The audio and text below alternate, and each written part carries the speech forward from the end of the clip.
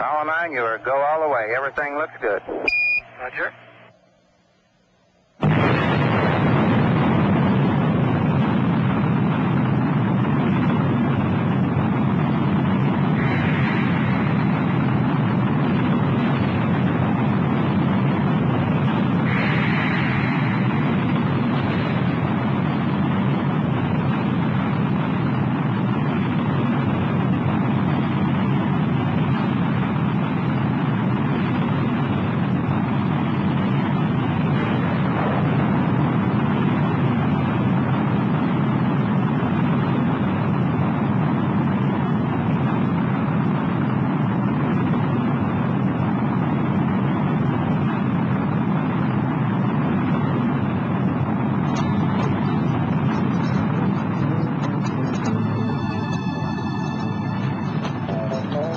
Downrange now, four and a half miles high, velocity 2,500 feet per second.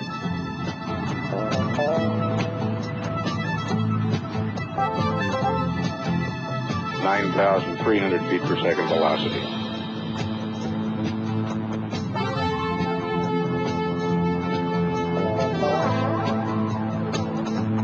And Apollo 9, everybody's happy as a clam here. Looking good. Apollo 9 has a go for staging now. 18,000 feet per second now, velocity.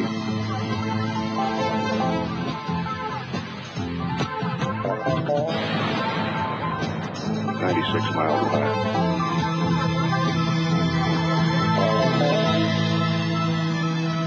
Nine hundred and twenty miles downrange now, hundred and one miles high, twenty-three thousand feet per second velocity.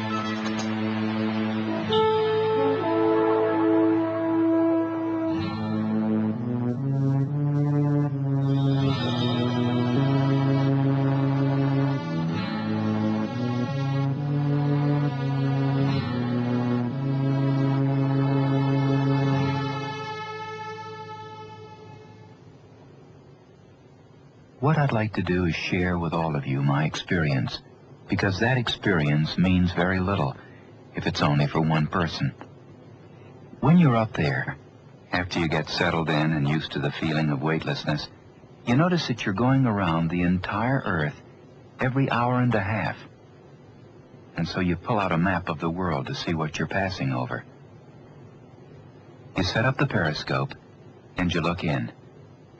And what you find yourself looking at is the Mediterranean area, Greece and Italy and the Sinai. And you begin to realize that in one glance, what you're looking at is what once was the whole history of man, the cradle of civilization. And you think about all that history. Next, you go down across the northern part of Africa. You see Ethiopia and the little tip that's Yemen. Then you see that great subcontinent of India pointed down towards you as you go past it. Then you go out over the Philippines and up across that monstrous Pacific Ocean, vast body of water. Never realized how big that is. And finally, you come up over the coast of California and you see Los Angeles. And then Phoenix.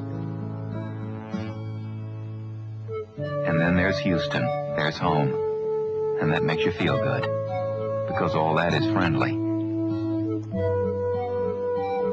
And then looking down to the south, there's the whole peninsula of Florida before you.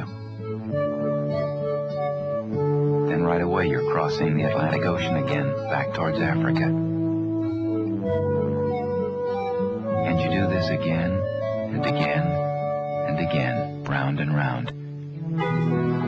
You find that you're identifying with Houston, and then identifying with Los Angeles and Phoenix.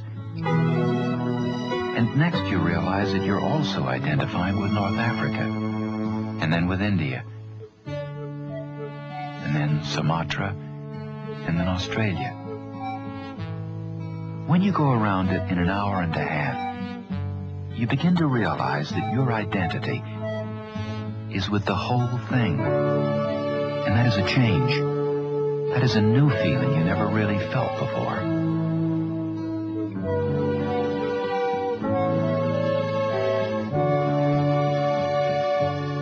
After four days of this, when you've done more tests than you can count, you and your partner Dave Scott get set to leave the land that's been your home and go outside. So you put on your suit, you get all ready, and then You go out the door.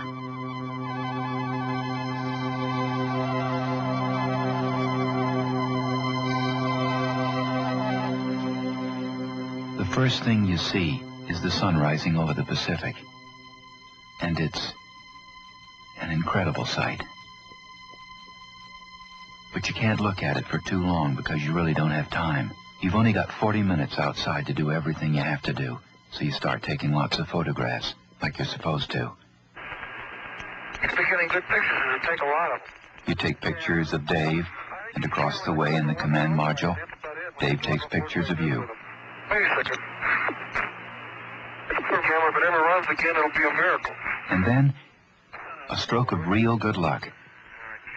All of a sudden, Dave's camera jams. Dave, you taking pictures yet? No, I can't get to run now, would you believe? And so now he has to stop and fix that camera. And you have just a few moments with nothing to do. So, you let go. And you float out. And then you look down. There are no limits to it. There are no frames. There are no boundaries. You're really out there. Floating. Going 17,000 miles an hour. And there's not a sound. There's a silence the depth of which you've never experienced before. And that silence contrasts so markedly with the speed you know you're going. As you stare down at that magnificently beautiful earth below you, you start thinking about what you're seeing, the incredible spectacle of it. And you start remembering your house, your family, and your identity keeps expanding. Your friends, your nation, your earth.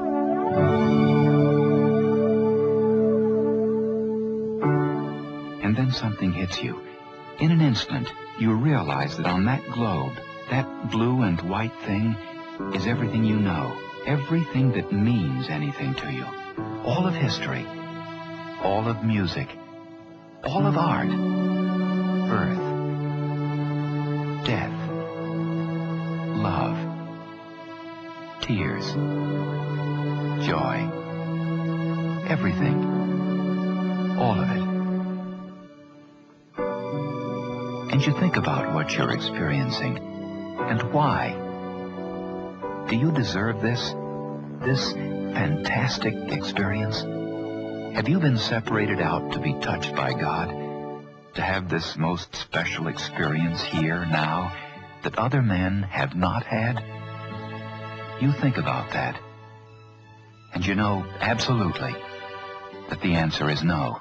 There's nothing that you've done to deserve this. It's not a special thing for you. And then all of a sudden, you realize that you are a piece of a total life. You know very well, and it comes through to you so powerfully, that you are up there as a sensing element for man.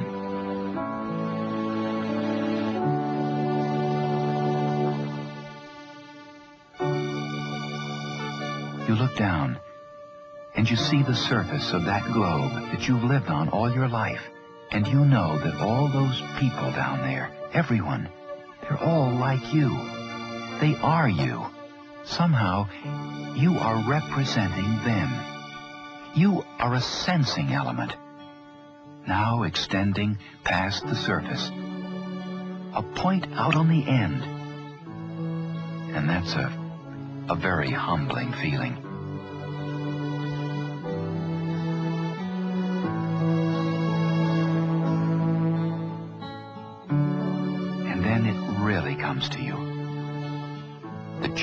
Step that humanity has taken. Somehow, without any of us being aware of it, things have changed. and we can no longer see ourselves as we saw ourselves before.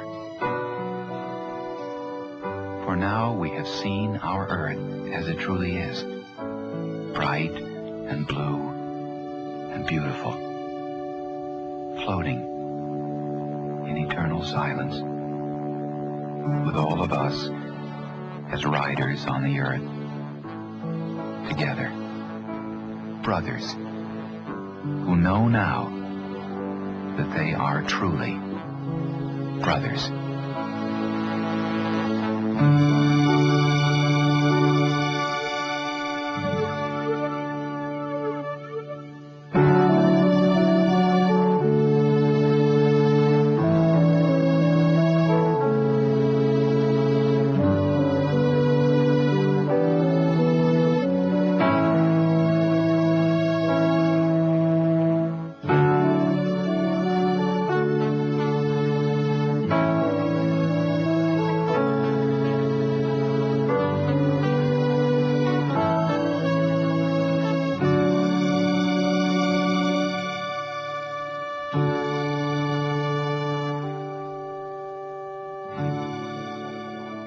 Then, almost too soon, your experience is over.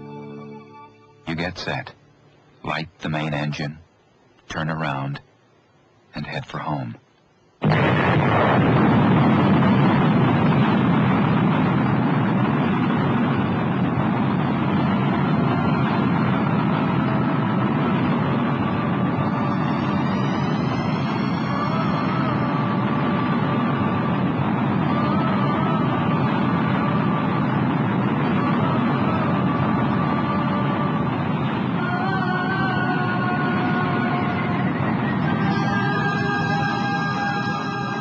Slow the ship down just enough to graze that womb of the earth, the atmosphere.